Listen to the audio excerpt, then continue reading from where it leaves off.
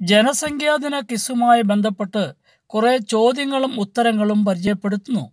ഇഷ്ടമായാൽ ലൈക്ക് ചെയ്യാനും ഷെയർ ചെയ്യാനും കമന്റ് ബോക്സിൽ അഭിപ്രായം രേഖപ്പെടുത്താനും ശ്രദ്ധിക്കണം. ഈ ചാനൽ സപ്പോർട്ട് ചെയ്ത് സഹായിക്കണം.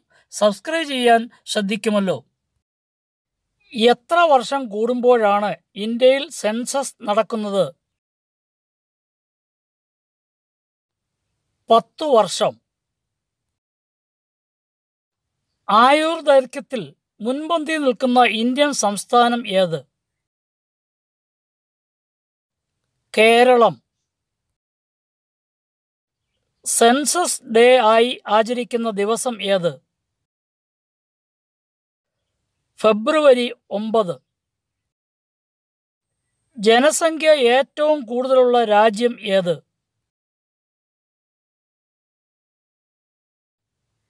ചൈന. സ്വതന്ത്ര ഇന്ത്യയിൽ ആദ്യ സെൻസസ് നടന്ന വർഷം ഏത്? ആയിരത്തി തൊള്ളായിരത്തി അമ്പത്തി ഒന്ന് ഇന്ത്യൻ സെൻസസിന്റെ പിതാവ് എന്നറിയപ്പെടുന്നത് ആര്? റിപ്പൺ പ്രഭു. ലോകത്ത് ഏറ്റവും കുറഞ്ഞ ജനസംഖ്യയുള്ള രാജ്യം? വത്തിക്കാൻ. കേരളത്തിൽ ഏറ്റവും ജനസംഖ്യ കൂടിയ ജില്ല ഏത്? മലപ്പുറം. ജനസംഖ്യയെക്കുറിച്ചുള്ള പഠനത്തിന്റെ പേര് ഡെമോഗ്രഫി. ലോകത്തിലെ ഏറ്റവും വലിയ സെൻസസ് ഏത് രാജ്യത്തിന്റേതാണ്? ഇന്ത്യ. ലോക ജനസംഖ്യാ ദിനം ആചരിക്കാൻ തുടങ്ങിയ വർഷം ആയിരത്തി തൊള്ളായിരത്തി എൺപത്തിയേഴ്. ലോകത്തിൽ ഏറ്റവും ജനസംഖ്യ കൂടിയ നഗരം ഏത്? മനില. കേരളത്തിൽ ഏറ്റവും കൂടുതൽ ജനസാന്ദ്രതയുള്ള ജില്ല തിരുവനന്തപുരം. ഇന്ത്യയിൽ ഏറ്റവും കൂടുതൽ ജനസാന്ദ്രതയുള്ള സംസ്ഥാനം പശ്ചിമ ബംഗാൾ.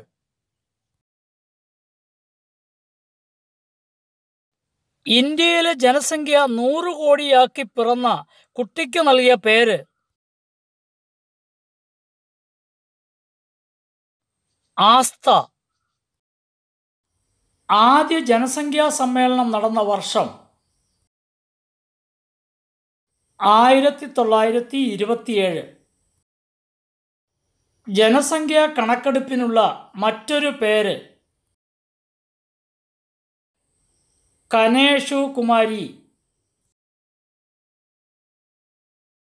കണക്കെടുപ്പ് കണക്കുകൾ കൃത്യമായി പ്രസിദ്ധീകരിച്ച ആദ്യ സെൻസസ് രാജ്യം സ്വീഡൻ ആയിരത്തി എഴുന്നൂറ്റി അമ്പത് ലോക ജനസംഖ്യ എത്ര കോടി ആയതിന്റെ ഓർമ്മയ്ക്കാണ് ജൂലൈ പതിനൊന്ന് ലോക ജനസംഖ്യാ ദിനമായി ആചരിക്കുന്നത്. അഞ്ഞൂറ് കോടി. ജനങ്ങളുടെ കണക്കെടുപ്പ് നടത്തുന്ന രീതി ആദ്യമായി നടപ്പിലാക്കിയത് എവിടെ? ബാബിലോണിയ.